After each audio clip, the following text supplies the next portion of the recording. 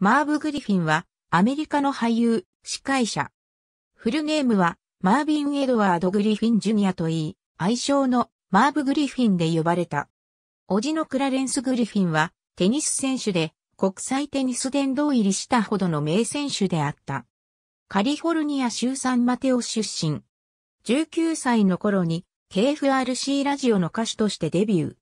当時は太すぎる体格だった。彼は1953年の映画ソディスイズラブでキャスリン・グレイソンと口を開けたキスをする。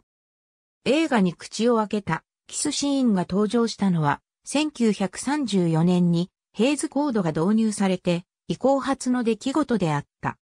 1950年代からクイズ番組の司会に抜擢される。プレイユアハンチで1958年から4年間司会を務めた。さらにトーク番組、マーブ・グリフィン・ショーの司会、ジョパディ、ホイール・オブ・フォーチュンの番組制作会社、マーブ・グリフィン・エンタープライズを設立し、番組の制作総指揮を務めた。同社はコカ・コーラに売却され、現在はソニーピクチャーズテレビジョンの傘下である。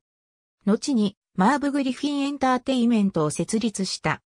グリフィンは実業家としてもホテル経営、競走馬のオーナーなど多くの事業に携わった。2007年8月12日、前立腺がんのためロサンゼルスで死去。